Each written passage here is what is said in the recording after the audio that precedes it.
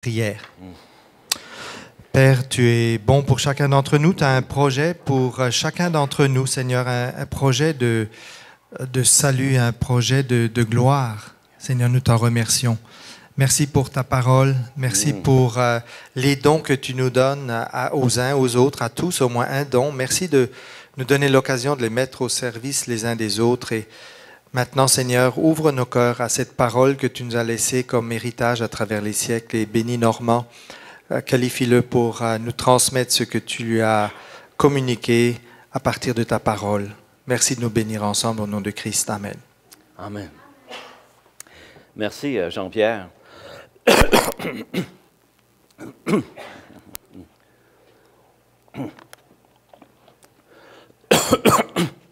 Excusez-moi. Est-ce que vous avez déjà assisté euh, dernièrement à des funérailles? Peut-être quelques-uns. Et si vous remarquez, euh, souvent, lorsqu'on est dans une funéraille, le, célébrant, euh, on entend de sa part souvent toutes sortes de choses. Très souvent, le but, c'est de consoler puis de réconforter les personnes. Il y a déjà un célébrant qui a dit Dieu pleure face à la pour essayer pour consoler les familles qui étaient là en disant Dieu pleure avec vous parce que cette journée-là il pleuvait à l'extérieur. Et il a utilisé cette expression-là tout simplement pour encourager la famille qui était là endeuillée. Un autre, à un moment donné, face à le décès tragique d'une jeune mère de famille, a dit que ce n'était pas la volonté de Dieu. Donc, que quelque part, il y aurait peut-être dans le ciel, il y a eu une erreur qui a fait qu'en sorte, cette jeune dame, jeune mère de famille, puisse mourir. Et, mais souvent, ce que l'on entend le plus souvent, et j'ai encore eu l'occasion de l'entendre, j'étais dans des funérailles mercredi, euh, vendredi, ce que l'on entend le plus souvent, c'est que depuis la mort de Jésus, tout le monde a le droit d'aller au ciel. Et euh, dès qu'on en, ça sort de la bouche de la personne, tout le monde a le droit d'aller au ciel, qu'il soit croyant ou pas. La personne peut être un athée, peut être un agnostique, celle qui est là décédée, et la personne va enseigner qu'elle va aller au ciel. Elle va être dans un environnement où il va y avoir de la joie et du bonheur pour l'éternité pour cette personne-là. C'est que le dernier message qu'on entend le plus souvent, c'est que finalement, il y a une vie après la mort. C'est ce que les gens concluent. Mais cette vie après la mort, pour eux, ça veut dire que nécessairement, ça va être une vie favorable et heureuse, mais pour tout le monde. Par contre, dans le monde actuel, il y a des gens qui ne croient pas qu'il y a de la vie après la mort. Ça, c'est une autre partie de la population. Il y a des gens comme, tantôt on a entendu l'expression six pieds sous terre. Est-ce que vous avez déjà entendu cette expression-là, des gens qui disent que moi, je vais finir six pieds sous terre? Je l'ai entendu, entendu dans ma propre famille. Des gens qui disent ça. Pour eux, la vie se termine à la mort et c'est complètement terminé. Et dans notre société, c'est exactement comme ça, pour plusieurs. Soit d'un côté, on est sûr d'aller au ciel, croyons ou pas croyants, ou bien donc, ça se termine à un endroit, et pour nous, c'est complètement terminé. Paul a prêché ou a enseigné sur la résurrection. Et actuellement, dans notre étude que l'on a sur 1 Corinthiens, au chapitre 15, entre autres le verset 12, Paul dit, Or, si l'on prêche que Christ est ressuscité des morts, pourquoi quelques-uns parmi vous disent-ils qu'il n'y a point de résurrection des morts? Pourquoi qu'il y a des gens qui disent, et il y avait des gens dans cette église qui disaient qu'il n'y a pas de résurrection des morts. Et Paul, dans la première partie de son, du chapitre 15, rappelle le rôle de la résurrection de Jésus-Christ, entre autres, dans le message de l'Évangile. La résurrection de Jésus-Christ, ça n'avait pas eu lieu, l'Évangile ne, serait inefficace, on pourrait dire. La résurrection corporelle de Jésus est une doctrine à laquelle, au moins, on peut voir, au travers le texte, que les Corinthiens, en général, ils reconnaissent ça. Ils reconnaissent que, oui, OK, la résurrection de Jésus a sûrement pu avoir lieu. D'abord, il y avait des témoins qui l'ont vu. Est-ce qu'ils ont eu des témoignages? L'événement par rapport à, à, la date où la lettre a été faite était quand même pas tellement loin dans le temps. Résurrection de Jésus, OK. Mais là, il expose le vrai problème chez les Corinthiens par rapport à la résurrection, c'est qu'ils rejettent pour plusieurs la résurrection des morts. Comme on, comme on disait tantôt, la résurrection des morts pour les Grecs, c'était une chose que beaucoup avaient de la difficulté à croire. Selon leur philosophie, ça ne marchait pas dans leur philosophie. Que les corps vont ressusciter. Les corps vont ressusciter. Est-ce que c'est possible qu'à un moment donné, ces gens-là puissent se poser la question, qu'on voit entre autres au, verset 35 du même chapitre, mais quelqu'un dira, comment les morts ressuscitent-ils? Et avec quel corps viennent-ils? Euh, pour eux, c'était inconcevable, absolument inconcevable, concernant la, en se mettant dans l'idée, avec la complexité de prendre tout ce qui est mort depuis des années et des années et des années et que tout ça revienne à la vie. Ça n'avait pas d'allure. Je vous donne une image. Imaginez que ma maison brûle et que tout ce qui reste, ce sont des décombres, tout brûlé, puis de la cendre.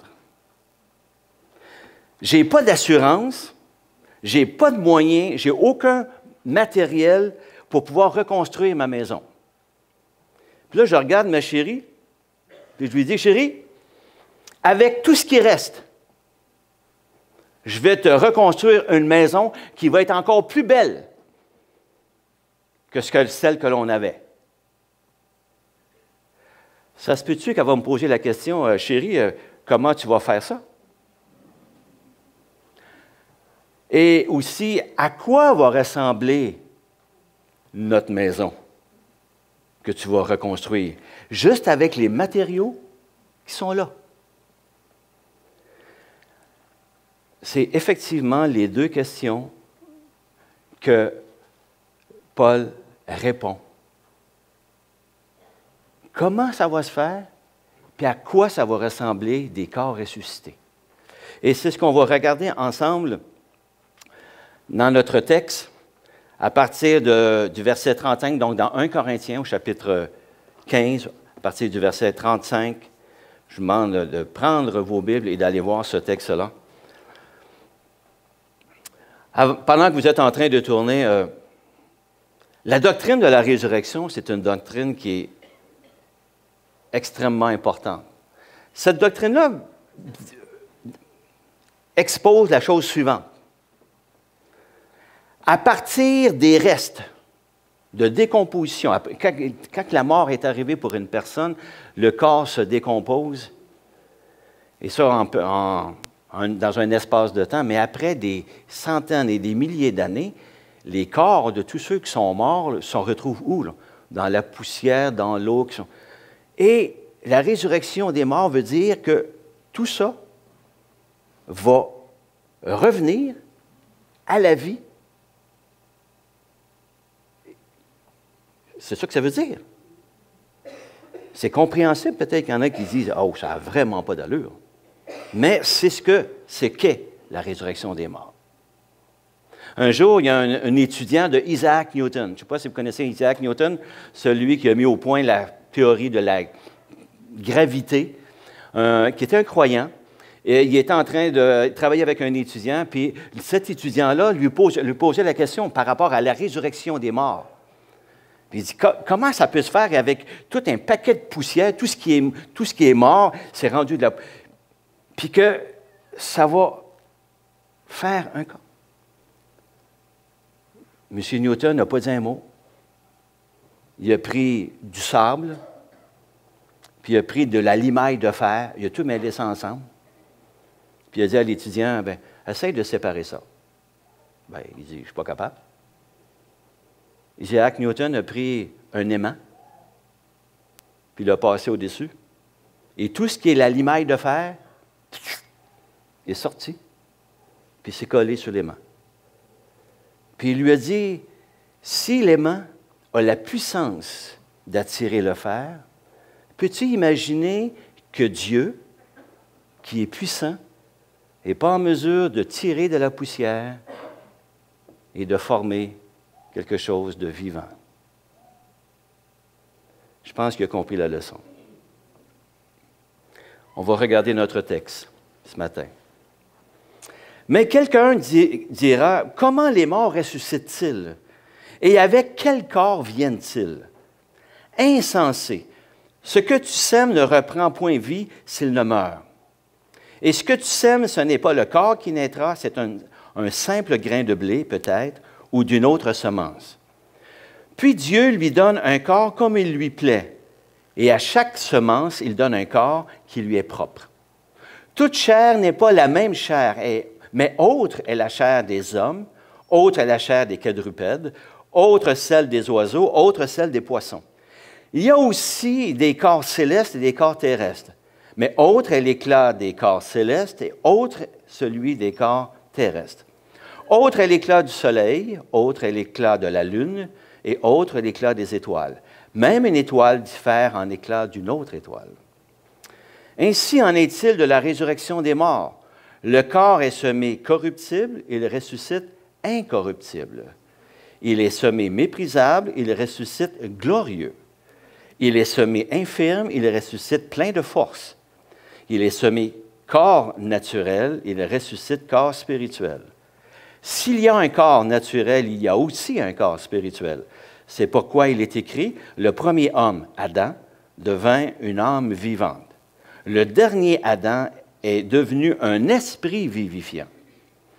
Mais, ce qui est spirituel, ce n'est pas le premier, c'est ce qui est naturel.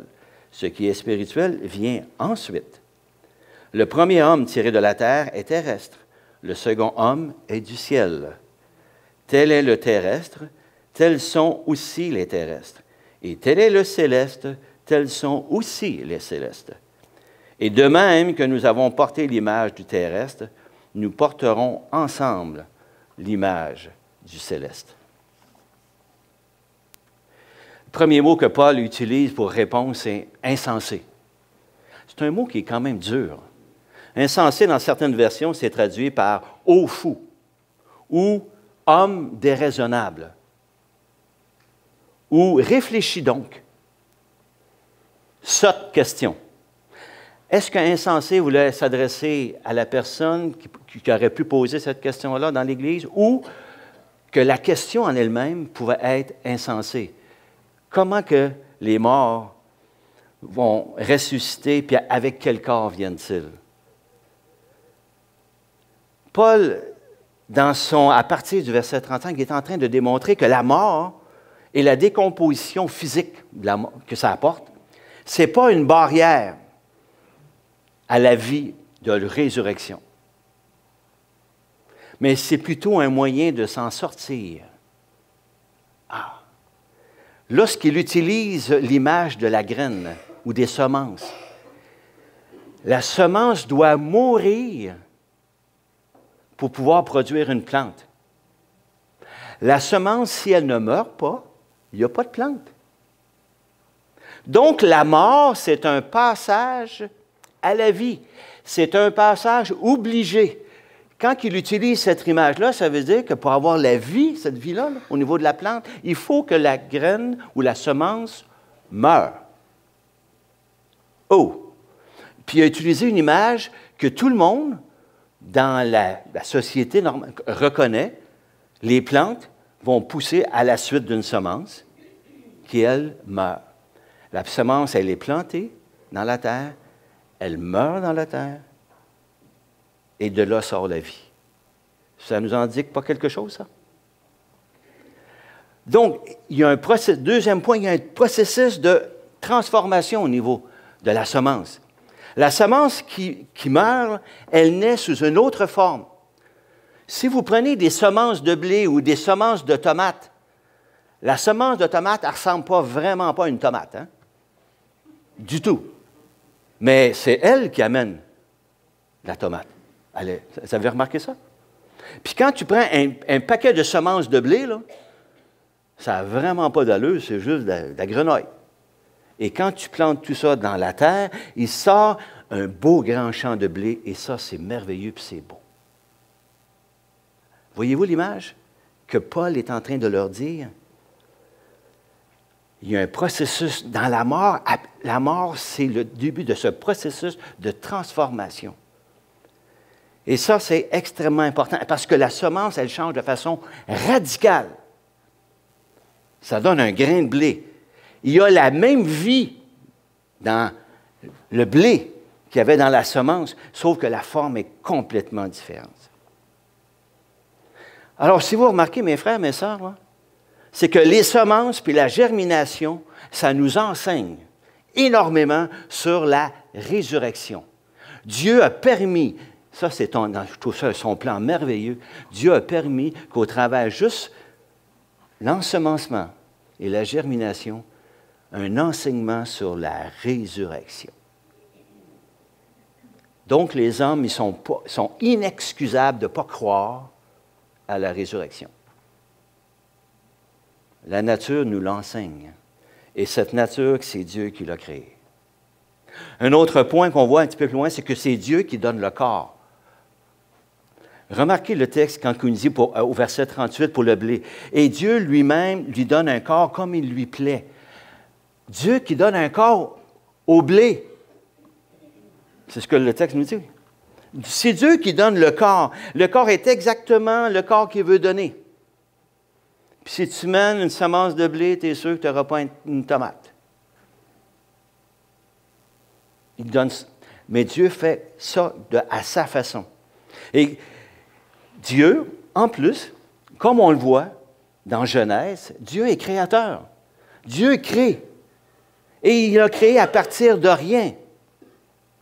Et entre autres, à partir de la terre, il a été capable de faire sortir des plantes. Dieu est capable de faire ça. Dieu, il est donneur de vie. Et on le voit dans la Genèse. Et Dieu a créé le monde végétal. C'est ce que Paul est en train de dire. Il a créé le monde animal. Il a créé le monde astral. lorsqu'il parle que ainsi à la chair des, des hommes, des quadrupèdes, et ainsi de suite, il est en train de le rappeler. Dieu a opéré la création. Ne serait-il pas capable de faire une autre création, de recréer? Paul dirait, insensé. Vous ne comprenez pas ça? Si Dieu est capable de créer une première fois, est-ce qu'il est capable de recréer? À partir de rien? Ou à partir juste de la poussière? Et c'est ce qu'il est en train de dire. Et tout simplement en train de faire une image, une illustration pour le faire prendre conscience que la résurrection des morts, oui, c'est possible. Est-ce que tu y crois? C'est un peu ce qu'il est en train de leur dire. Dieu a créé l'homme à partir de la poussière. On voit ça dans Genèse, chapitre 2, verset 7. Et la mort a ramené l'homme à la poussière. Genèse 3, verset 19. À partir de cette poussière, est-ce qu'il est capable de créer ce qu'il veut? Exactement. Dieu est celui qui donne à chaque forme de vie le corps qu'il veut. C'est un corps qui est distinct, unique, et qui est parfaitement adapté à son environnement. Il a créé l'homme, mais l'homme est adapté pour vivre sur la terre. Il a créé les oiseaux, les oiseaux sont adaptés pour vivre de façon aérienne. Il a créé les poissons, eux, ils sont adaptés pour vivre de façon aquatique. Il a créé les, astres, le soleil, la lune, et eux, ils sont adaptés pour vivre dans l'espace. Nous, on n'est pas adaptés pour vivre dans l'espace. Comme nous, on n'est pas adaptés pour vivre dans l'eau. Non plus pour voler par nos propres moyens.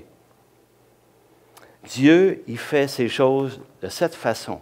Alors, chaque créature, par la gloire de Dieu, se retrouve au bon endroit. Alors, la résurrection, c'est une conception glorieuse de la part de Dieu. C'est merveilleux. Et c'est ce qu'il est en train de leur dire. Devant le spectacle de la première création, mes frères, mes sœurs corinthiens, comment vous pouvez douter de la gloire que les corps que le Seigneur va former à la suite de la résurrection des corps? Seulement que l'image du papillon, une chenille, hein, prenez une chenille, là. Là, à un moment donné, la chenille se retrouve dans son cocon. On appelle ça le chrysalide, si je ne me trompe pas. Et à partir de quelque chose qui est vraiment. Quand tu regardes une chenille, c'est pas nécessairement beau, là. Et là, ça se transforme. Tu te dis, qu'est-ce qui se passe à l'intérieur? Il, y a une vie qui se transforme complètement. Là. Et là, il sort un papillon. C'est-tu beau, un papillon? Mais c'est la résurrection des corps c'est ce que ça va donner comme effet. Quelque chose de différent, transformé, et il y a une continuité. C'est que la personne qui meurt puis la personne qui ressuscite, c'est la même personne. Parce que la semence qui meurt puis la plante, c'est la même vie qui se retrouve là-dedans. Et Dieu redonne au travers de la résurrection la vie. C'est ce qu'il est en train d'enseigner. Et ça, c'est la transformation, elle est radicale, merveilleuse. Et c'est ce qu'il est en train de dire. Et lorsqu'il arrive au verset 42, il dit, Ainsi en est-il de la résurrection des morts. Je vous ai donné une leçon, une première leçon. Et il continue.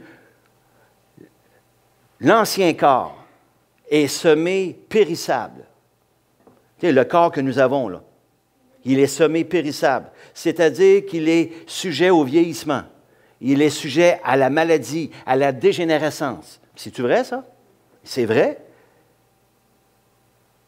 Et il va être transformé dans un corps impérissable, qui ne se dégradera jamais, qui n'aura aucune maladie, qui va toujours être en pleine santé. C'est ça la résurrection. Le corps physique est, semé dans le déshonneur. Vous savez que quelqu'un qui meurt, ça sent mauvais, ça se dégrade et c'est vraiment laid. Un corps en décomposition. Imaginez ensuite qu'est-ce qui pourrait se passer lorsqu'on le place dans la terre au niveau de toutes les interactions biologiques qui, se passent. Je n'ai pas besoin de vous faire un dessin. C'est quelque chose qui se corrompt, qui se dégrade. Et ça, c'est vraiment pas glorieux. Et la résurrection va amener des nouveaux corps qui vont être glorieux. Wow! C'est ça la résurrection. Le, corps physique est semé faible, il va ressusciter puissant, fort. Dans nos corps physiques, on est limité. On ne peut pas tout faire. On, même on a de la misère à sauter deux pieds de haut. Hein. On n'est pas capable de voler dans les airs, nous autres. On n'est pas capable d'aller sous l'eau et de rester 15 minutes. Non. Non, on est limité, on a des limitations. Le corps ressuscité va être un corps avec une puissance, une capacité. Et autant qu'on peut dire, hey, c'est impossible, autant tu dois glorifier Dieu parce que Dieu fait des choses impossibles. Et c'est ce que le Seigneur fait au travers de la résurrection. le corps physique est semé un corps naturel. Et ça ce qui va sortir, c'est un corps spirituel. Un corps qui va être adapté adapté à son nouvel environnement dans lequel il va se retrouver. Et c'est ça qui est merveilleux. Il faut que le premier corps meure parce que tu ne peux pas passer dans un corps différent. Tu ne peux pas te retrouver dans un environnement spirituel parfait sans avoir un nouveau corps. Parce que ton corps ne pourrait pas le prendre actuellement.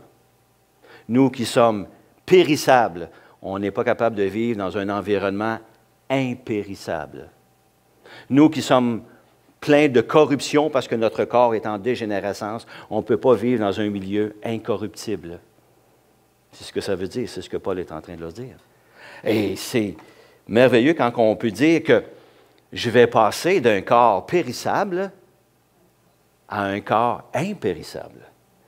Et que je nous regarde tous ici, on va tous passer par le même endroit. Et je dirais ça à tous les êtres humains sur Terre. Il y a une résurrection générale à la fin des temps. Un petit peu plus loin, Paul va justement insister là-dessus. Là, on va dire, mais pourquoi ça arrive comme ça? Paul, à partir du verset 45, hein, il dit, c'est pourquoi il est écrit. Puis là, il donne une comparaison avec le premier Adam et le deuxième Adam. Pourquoi, pourquoi il fait ça? Le premier Adam, celui qu'on appelle Adam et Ève, qu'on retrouve dans la Genèse, et le second Adam, on sait que c'est Christ, ils étaient des hommes, tous les deux. Christ a pris un corps, s'est incarné. Ils étaient tous les deux des Adama. Adama veut dire terre. Ils viennent de la terre. Ils étaient tous les deux, Adam et Christ, sont ce qu'on appelle des prototypes. Ça veut dire quoi des prototypes? Ça veut dire que les, les actions de ces deux hommes-là ont eu un impact sur toute l'humanité. Le premier Adam est un homme naturel. Il est, il est, il a, Dieu a soufflé un souffle dans, dans ses narines et il est devenu une âme vivante. Mais par le péché, par sa mort et la mort, il a introduit le péché et la mort dans le monde. Et il a fait que tous les hommes sont sous le coup d'une condamnation à mort. Il est le prototype puis tous ceux qui découlent de lui sont comme ça. Et nous faisons partie de ceux qui avons hérité, entre autres, de cette mortalité. C'est vrai, parce que tous, actuellement, nous sommes mortels. Le dernier Adam, lui, est devenu un homme spirituel. Il est devenu un esprit vital, comme le texte nous dit. Jésus-Christ, par sa justice, par sa mort, par son enterrement. Et sa résurrection a permis la résurrection de tous les hommes. Wow! Il a été le premier, le prototype. Et Paul, un peu plus loin, va expliquer comment on pourrait finalement se retrouver dans le groupe de ceux qui vont être ressuscités et qui vont se retrouver avec Christ, vivant. Lui, le prototype. On ne peut pas s'imaginer à quoi va ressembler le corps glorifié, le corps transformé. Il y a beaucoup de spéculations là-dessus. un texte nous en parle dans Philippiens au chapitre 3. Parle de Sauveur, le Seigneur Jésus-Christ, qui transformera le corps de notre humiliation en le rendant semblable au corps de sa gloire par le pouvoir qu'il a de s'assujettir toutes choses.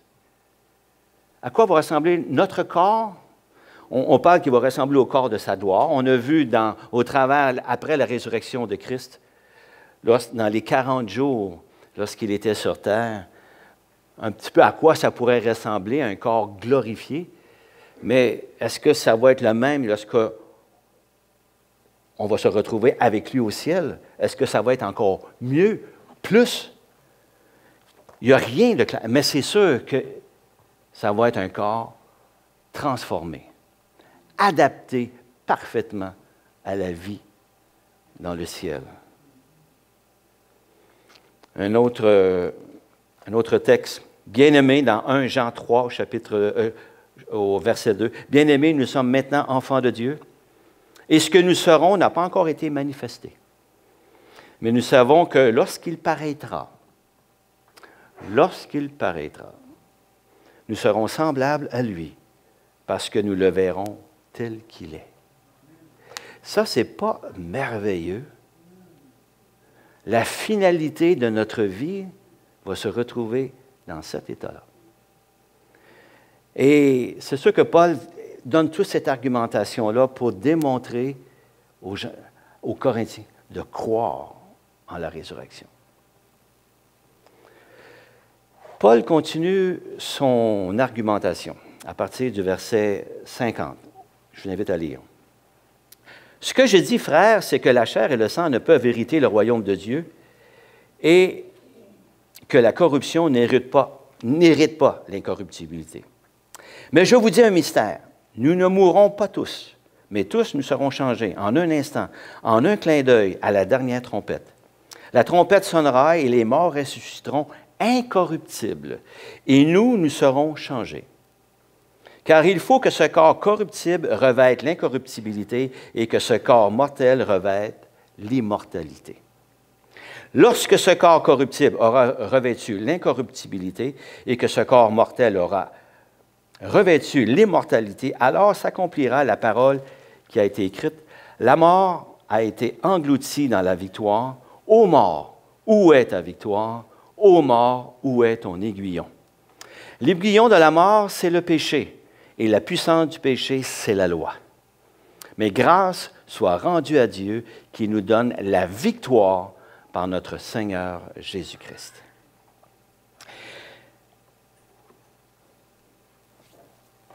Paul, ce que Paul dit, ça se résume en peut-être quelques phrases, mais une première. Le corps physique, celui que l'on a, quand il parle de la chair et le sang, c'est une expression qui veut dire le corps physique. Ne peut pas hériter du royaume de Dieu. Tu ne peux pas rentrer dans le royaume de Dieu avec ton corps tel que là, que tu Ces corps périssables que nous avons ne peuvent pas habiter dans un environnement éternellement impérissable. Nous, nous sommes mortels. Vous avez remarqué? Oui, il y a une finalité à nous tous, physiquement parlant. Alors, nous ne pouvons pas habiter dans le ciel avec nos corps actuels. C'est aussi simple que ça. C'est ce qu'il est en train de leur dire. Puis là, c'est sûr que la question est peut-être dans leur tête aux Corinthiens, mais quand est-ce que ça, ça va arriver? La résurrection des corps. Peut-être que tu as réussi à nous convaincre, mais quand est-ce que ça va arriver?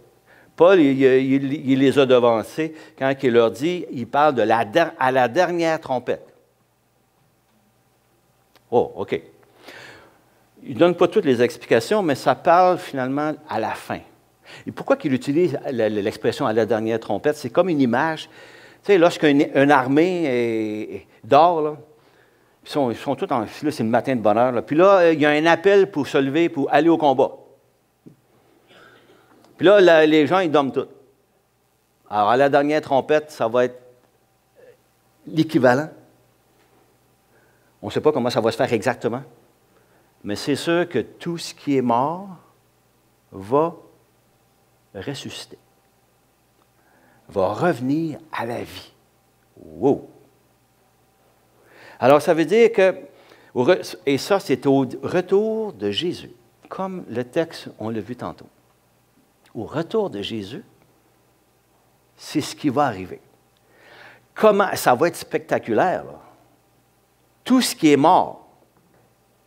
J'aime beaucoup, là. Est-ce que ça va se passer tout en même là? Parce que des fois, il y en a plusieurs qui enseignent, ben, c'est vrai qu'il y a deux résurrections, mais moi, là, il s'adresse à des Corinthiens. On peut imaginer qu'il parle du retour de Jésus-Christ et qu'à la dernière trompette, les croyants en Jésus-Christ vont ressusciter, vont revenir. C'est ce que Marc tantôt nous parlait quand on parle d'enlèvement. Et euh, qu'est-ce qui arrive pour ceux qui, sont, qui vont être là, encore vivants, lorsque le Seigneur va revenir? Le texte nous dit qu'ils vont être changés. Donc, ceux qui sont morts reviennent avec, et ils passent par une, transformation, et ceux qui sont déjà là, également une autre une transformation, et les deux groupes, entre vont se retrouver à l'endroit où que le corps leur permet de vivre maintenant, dans un nouvel environnement, en présence de Dieu, dans son royaume avec Dieu pour l'éternité. Oh, wow, ça c'est bon.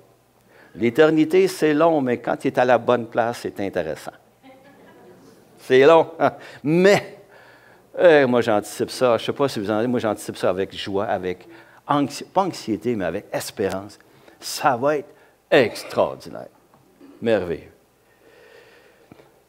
Et les paroles qu'il a citées de l'Ancien Testament viennent simplement que rappeler que finalement, au travers de la résurrection, c'est que c'est la mort qui vient d'être vaincue. La mort, quand tu ressuscites, ça, veut dire que avant tu étais mort, puis là, tu reviens à la vie. Et dans une vie que tu, qui va être là pour l'éternité. Donc, ça veut dire que la mort vient de mourir. La mort de la mort. C'est ce que ça sonne. La résurrection de Jésus-Christ, elle annonce déjà. Et on voit qu'au point de vue pratique, à la fin, la mort va mourir. Il n'y aura plus de mort. Aucune mort. Pas merveilleux? Est-ce que comme croyant, on doit avoir peur de la mort? La mort, c'est un passage obligé. Si je veux ressusciter, logiquement, il faut que je meure. C'est ça que ça veut dire. Hein? On doit passer par la mort pour avoir la vie éternelle. Alors, la mort, c'est juste, euh, il y a, quelqu'un qui disait, la mort, ce n'est pas un point final, c'est une virgule. Ce n'est pas la fin de la phrase. Juste une petite virgule. Parce qu'après la virgule, ouh, c'est bon. Extraordinaire. Alors, comment, tu on voit la mort? C'est encourageant. On voit la mort de cette façon. Mais la question qui tue, c'est la suivante. Après la mort, après ta mort, où vas-tu aller? Et Jean, euh, Jean, l'apôtre Jean, dans un texte, nous dit, chapitre 5, versets 28 et 29, L'heure vient où tous ceux qui sont dans les sépulcres entendront sa voix et s'en en sortiront. Tout le monde va sortir. Ceux qui auront fait le bien ressusciteront pour la vie mais ceux qui auront, fait le mal ressusciteront pour le jugement. Ceux qui ont fait le bien. Mais quand on, dit faire le bien, il faut faire attention. Faut faire le, mot faire le bien, c'est dans le contexte que Jean le conçoit dans son, dans son évangile. Et faire le bien, ce n'est pas de faire des œuvres. Dans son évangile, Jean, lorsqu'il parle de faire les bonnes choses ou de faire le bien, c'est de croire en celui que Dieu a envoyé. Et qui est-ce dont il parle? De croire en Jésus. C'est ça, dans l'évangile de Jean, qui s'appelle faire le bien, faire la volonté de son Père, de croire. Alors, moi, je nous pose la question, qu'est-ce qui va arriver à ta résurrection? Où vas-tu aller? Est-ce que tu vas être en présence de Dieu? Ou est-ce que tu vas te retrouver dans un autre endroit? Est-ce que tu vas te retrouver dans un endroit qui a de la joie éternelle, un bonheur éternel? Ou tu vas te retrouver dans un endroit où tu vas passer en jugement? Et je peux vous dire tout de suite que personne n'a ce jugement-là qui en sort gagnant.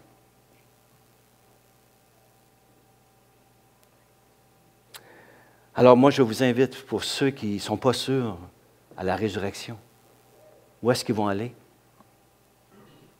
Regarde à Jésus-Christ. Regarde à son sacrifice.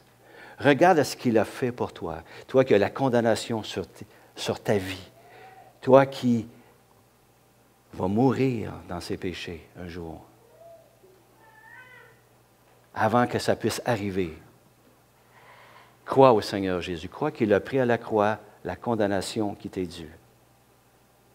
Tourne-toi vers lui Crois à ce que ce sacrifice a été suffisant pour enlever cette condamnation. Et reçois le beau cadeau de la vie éternelle qu'il te donne au travers du fait que tu crois en lui. Moi, je vous invite à le faire si vous n'êtes pas sûr de où, où vous allez vous retrouver à la résurrection.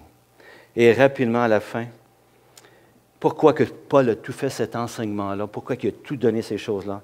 Verset 58, il dit, Ainsi, mes frères bien-aimés, soyez fermes, inébranlables, travaillant de mieux en mieux à l'œuvre du Seigneur, sachant que votre travail ne sera pas vain dans le Seigneur. Soyez réconfortés par ces paroles dont il parle pour la résurrection. soyez, je sais qu'un jour, puis Paul pourrait, le dire, vous allez vivre des difficultés dans votre vie, mais la résurrection nous amène à croire, puis à passer au travers ces choses-là dans la vie quotidienne, dans la stabilité, dans le réconfort, puis dans l'espérance. Wow! Je sais, même si je meurs, je sais où je m'en vais. Parce qu'il y a une résurrection des corps. Parce que je vais me retrouver avec un corps glorifié dans la présence de Dieu pour l'éternité. Peu importe ce qui va m'arriver sur cette terre. Et, ça, c'est ce qui est encourageant. Paul était quelqu'un qui, a vécu sa vie comme croyant, constamment confronté à la mort éventuelle. Mais pour lui, la mort, c'était un gain. Hmm? Pourquoi? Parce que dans la mort, tu gagnes. Tu viens de gagner quoi? Tu gagnes la résurrection. Il faut que tu meurs pour aller. Ça, c'est pas merveilleux, ça. Et tout cet enseignement-là nous enseigne la victoire sur la mort. C'est ce que Paul dit. Mais rendons grâce à Dieu qui nous donne la victoire par Jésus-Christ. Moi, je trouve ça merveilleux. Et je crois que c'est ça qu'on devrait enseigner dans les funérailles. Je, sais que quand je dis, je ne parle pas nécessairement de François, parce que François donne un message d'espoir. Mais oh combien que ça serait extraordinaire si dans tous les salons funéraires, on enseignait ce que Paul vient juste de nous dire. Que la mort, c'est juste une virgule et qu'après la mort, c'est extra pour ceux qui croient en Jésus-Christ. Prions. Merci Seigneur pour tout ce que tu nous accordes au travers de ta parole. Tu nous accordes de voir la, vérité telle que toi tu l'as conçue, Seigneur. De nous émerveiller devant tout ce que tu as accompli, Seigneur. De voir qu'au travers, justement, la mort, ça a été une période, Seigneur, un moment, un ennemi implacable mais Seigneur, pour lequel tu vois et tu nous montres qu'il y a une victoire. Et Seigneur, je te rends grâce de ce que ces choses ont été écrites justement pour nous fortifier, nous encourager, nous amener dans l'espérance, Seigneur, de ce qu'un jour, nous allons être en ta présence, avec toi, pleinement glorifiés. Merci, Seigneur, de ce grand privilège, de cette joie que nous avons de marcher sur cette terre en sachant que nous allons vivre notre finalité, Seigneur, avec toi pour l'éternité. Seigneur, on te prie et que ton beau nom dans tout cela, Seigneur, puisse être élevé dans ta gloire. Amen.